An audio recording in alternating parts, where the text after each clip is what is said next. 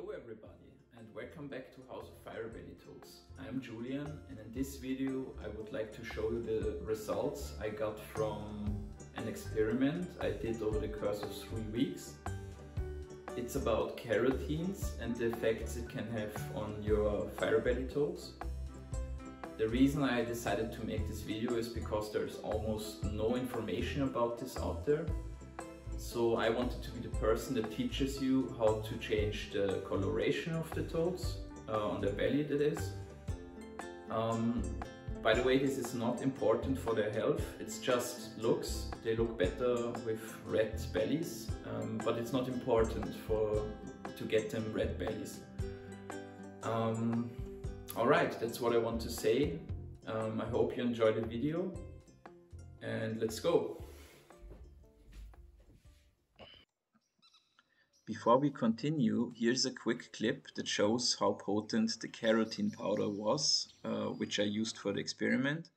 Sadly, uh, I don't have any left of it, but here just a quick clip that shows um, how strong it is. Alright guys, here we go. I got the petri dish ready.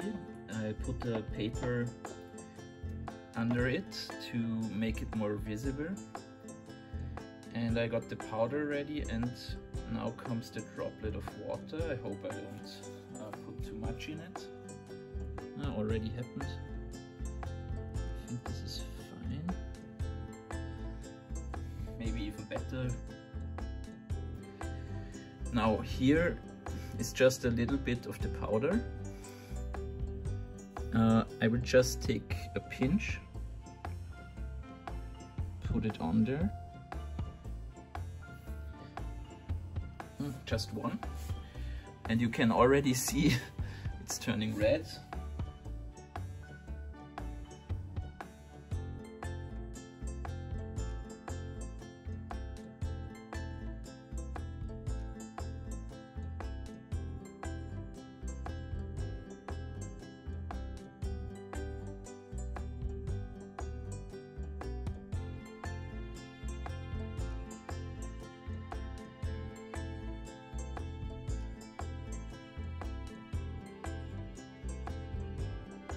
But you can see it's extremely potent.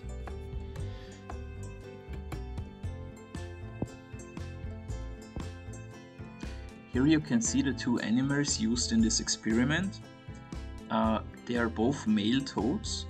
I took one oriental firebelly toad, uh, Bombina orientalis, and one European yellow belly toad, Bombina variegata variegata. Some of you may think uh, variegata can change belly coloration and you are correct about that. I took one anyways because people in the past told me they had success um, changing the belly colorations of uh, European yellow belly toads and I wanted to disprove that.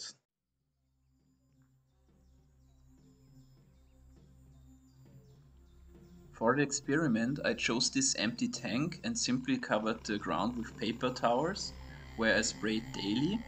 That makes it easier to clean by simply removing the towels every other day and I also added two plants and a bowl of water. But the main reason I chose this type of setup was that they cannot just spit out the carotene powder, which they usually do when you feed them dusted insects in their natural enclosure with water. Uh, here's a quick example video of how they spit it out.